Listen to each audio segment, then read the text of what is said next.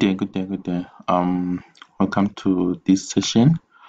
On this session, I'll be showing you guys some of my uh, solutions of this uh, grade 11 uh, maths uh, term 1 test, uh, which was written in uh, Capricorn South District in the province of Limpopo. So it was written on the 12th of uh, March 2024. So without wasting any time, I'm going to go through uh, the solutions and also the questions. And uh, please again, um, if you're new to the channel, uh, please subscribe, like, and also share, and also comment um, if you've got other different solutions that you might want us to attempt on. So this question paper was out of 100. Um, the first question was um, about uh, algebra. So that uh, three different sets of questions for 1.1, which were all about simplifying. So they were all involving uh, exponential laws. Then 1.2 was also uh, about working with uh, square root or surds. So these are my solutions. So with the first uh, question, uh, because we're dealing with exponential laws, I just went there and grouped um, all my numbers also with the exponent, but I had, we had to change 15 to become 3 times 5 so that at least we can have the same base which was 3 and 5 in this instance same as 27 it was changed to 3 to the power of 3 then once you get all the same bases we had to use the exponential laws of adding or subtractions. And once I did that um, after simplifying everything I end up with uh, 3 times 5 which gave us 15 so uh, with the second question also about exponential laws uh, we had to go there and group the numbers first. Then once you got the common factor, which was 2 to the power of x, then I put everything else in the bracket. Then I simplify everything. And then once I simplify everything, uh, I end up with uh, 5 um, over 2.5. And then that was 5 over 2.5. And then that gave me the answer of uh, 2. If I'm not mistaken, I give my answer of 2 when I did the calculations. And then with 1.1.3, uh, um, same thing again we had the same base which was x so i guess when then add the exponent as well as uh, minusing the one that is coming underneath and then once i got the number in decimal it gave me x to the power of uh, 0 0.42 with uh, 1.2 um, this one was surd so before i could do anything i went and removed the square roots. So i had to divide uh, the number which was 6 there uh, with the number which is outside there which is 3 both sides the same thing. Then I simplified to 2 and 2 from there onwards I expanded my two brackets and then I just went there and did the simplifying. And then once I simplified that's the number that I was ending up with and then I just left the answer like that because I didn't want to use the calculator so from there onwards we went to question number two question number two was also about uh, algebra so here it was about solve for x as well as nature of roots so with this uh, question here the first one um, was all about cross multiplication. So I went there and did cross multiplication. And then once I did cross multiplication, I simplified my thing. Then I end up with my trinomial, which was x squared minus x minus 2. Once I got my trinomial, that's when I just went there and did the factors. And I got my two solutions. And then with 2.1.2, uh, also just did simplifying. Once you did simplifying, then you bring 5 to the other side. Once you get a trinomial, because the question was asking us to round off to the nearest two decimal, so once you get the trinomial, just go there and put uh, the values on the formula of uh, the quadratic formula, which I did there. And then once you put the values as they are on the calculator, you'll get the answer first for plus. Then from there onwards, you get the answer for minus. Those will be your two solutions. Then 2.1.3 also uh, it was about exponential laws. So here, first thing first, we have to divide both sides by 2. Once I did that, uh, I found uh, that 50 divided by 2 gave us 25 once we've got uh, 25 we can change to exponent which is 5 to the power of 2 then from there onwards we do the exponential laws and then we equate uh, everything which is give us x is equals to 2 so and then I made a mistake of not putting 2.1.4 so now I just went there and did it on the screen as you can see. So 2.1.4 uh, also the square root again. It was square root uh, x minus 3 minus 4 everything was equals to 5 then from there onwards I went there and squared both sides. And then once I squared both sides um, then the 4 went other side which became 5 plus 4 then I also square other side because you must square both sides. Then from there onwards we end up with x minus 3 on the left. And then the other side it was 9 squared which is 81 from there onwards 3 goes the other side, which becomes uh, 81 plus 3. So my x was 84 for that one. And then with uh, 2.2, it was about nature of roots. And remember, they say the roots are not real. So if the roots are not real, it must be less than 0, which I did there. Then from there onwards, um, the roots are non-real, so it will be less than 0. So your discriminant or b squared minus 4ac will be less than 0. From there onwards, uh, if you look at the square root inside there, they gave us everything already uh, in the square root. We already know from the square root that uh, it's going to be b squared minus 4ac over 2a based on the formula uh, quadratic. So using that, uh, we're already going to just take everything as it is on the formula, which is b squared minus 4ac, where they will be on the square root. So if I take that on the given uh, example, the, we found that we had uh, 16 minus 4b, in bracket it was b plus 5. Then I went there and simplified everything.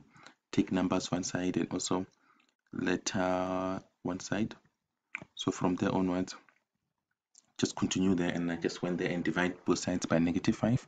And then we know when you're dealing with inequalities, once you divide by a negative or multiply by a negative number, the sign must change because before we had less than, now it becomes greater than uh, 21 over 5. So then I just continue 2.3. 2.3, it was about maximum. So if you're doing grade 12, whenever it's about maximum for grade 12, we tend to use um, the other part. Uh, that would be um, with regards to maximum. If you're doing grade 12, uh, you can just do derivative. But if you are doing grade 11, we normally use the uh, formula, which is x squared to negative b over 2a from there onwards, whatever the b value is, you put it as is.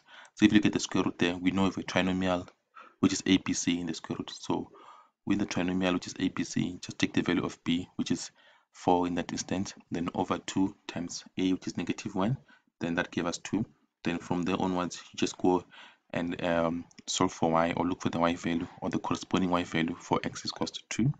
So when you put 2 in the square root there, you simplify to uh, square root of 16 which is 4 and they ask us to prove that. So that was our answer for that one. So just continue. Question number three it's about inequalities and also simultaneous. So here just went there and did the first one where uh, first thing first you must get the factors. Then once you get the factors uh, get the critical values.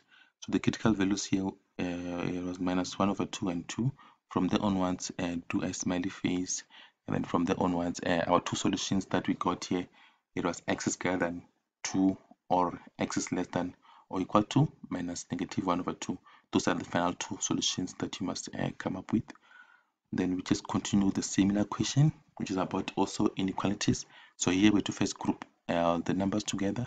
Then once you get a trinomial you get the factors. Once you get the factors get the uh, critical values which was negative 3 and also 1 over 3 here then from there onwards um, you can go and find the two solutions which was x will be greater than um, negative 3 or less than 1 over 3 then with simultaneous it was a seven mark question.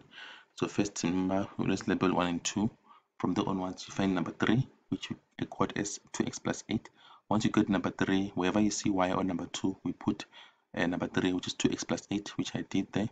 Then from there onwards just group all the like terms together so I just went there and put the like terms together. Then from there onwards, I simplified everything.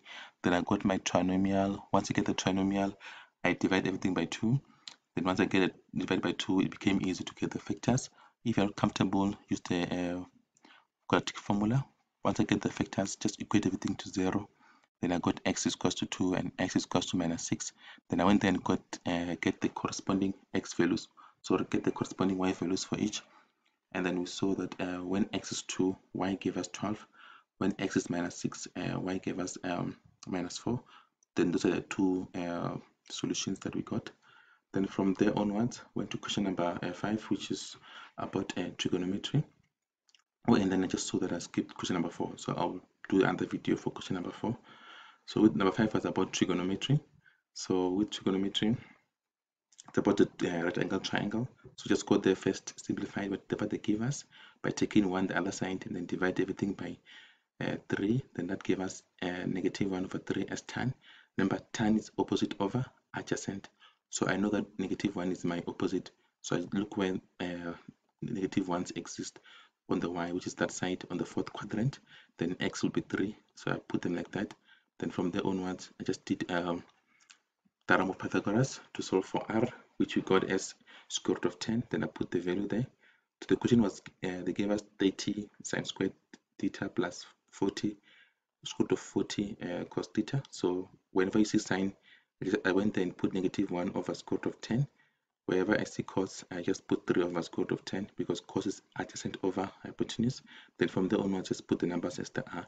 Then you can just solve them uh, leave wherever you, you see as possible then uh, with the next question similar question but here they gave us sine 17 is equals to a. So first thing here you must divide by 1 because you must always get a fraction. Once you divide by 1 and then I get my right angle triangle then I went there and solved for the missing side which in this instance was the adjacent of the x. So I found x as square root of 1 minus a squared using the Pythagoras. Therefore I know tan will be opposite over adjacent. So my tan was opposite which is a over square root of 1 minus a squared so the second question was they gave us uh, sine 107 so I know that uh, with this type of questions because I'm given sine there. So I just went there and used uh, 90 degrees as my angle. So then that gave me uh, 90 plus 17 which take me to 107 from there onwards.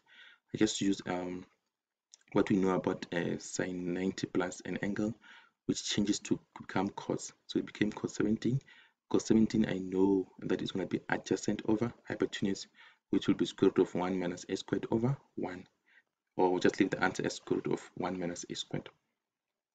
Then from there onwards uh, just do the next one which is 5.2.3 it was about cos squared 253 plus sine squared 557 so from there onwards uh, remember the triangle they gave us was having 17 so because we know that is 90 uh, degrees so it will be 90 plus 17 uh, plus another number that must be a sum of 18 so I went there and found the missing sum or missing number which is 73 because the whole of 73 plus 17 plus 90 must take us to 18 so meaning the other side of my triangle is 73 degrees which means now it allows me to go and find other values which are required.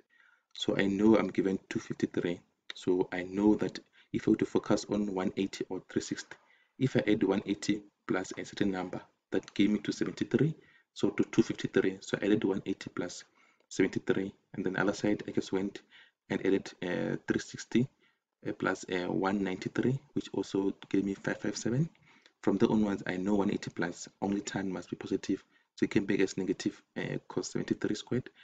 And then the other side, uh, it came back as positive because 360 plus everyone is positive. Then from there onwards, I just simplified my numbers as they are, and then I know where 73 is. If I put, if I focus on 73, then my adjacent becomes a, and then opposite becomes square root of 1 minus a squared, which I just put them as they are there.